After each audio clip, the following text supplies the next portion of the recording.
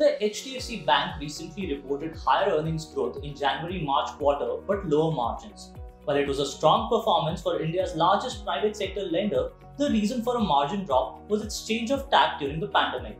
As the retail segment suffered, the bank extended more loans to the wholesale segment. The strategy lowered its net interest income growth but helped it grow the advances during the fourth quarter by 20.8% over a year earlier.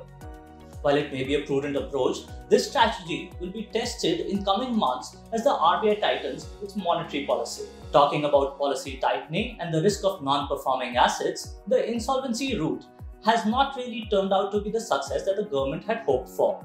Data released by the Insolvency and Bankruptcy Board of India showed that less than a third of debt was recovered by lenders via insolvency cases. In nearly half of these cases, liquidation was the solution, Resolution through lender approved plans remained a problematic approach, with just 457 of the 3,247 cases being settled by this method.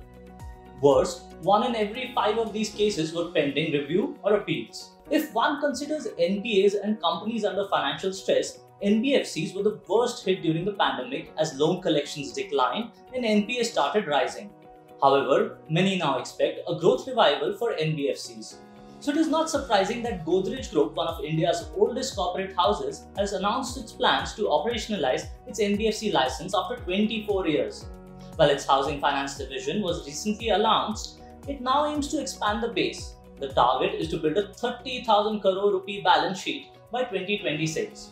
Its first target is the unsecured loan segment. The announcement of Godrej Housing Finance had coincided with the launch of WhatsApp payments in November 2020.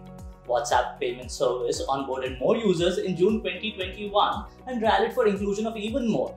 The NPCI has now allowed WhatsApp to expand its user base by another 60 million to 100 million.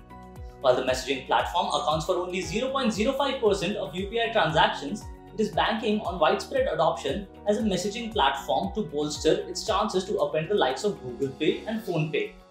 The expansion of its payment mechanism will also provide its parent, Meta, more room to foray into social commerce and predict consumer behavior better. If you like this video, share it and subscribe to Business Standard.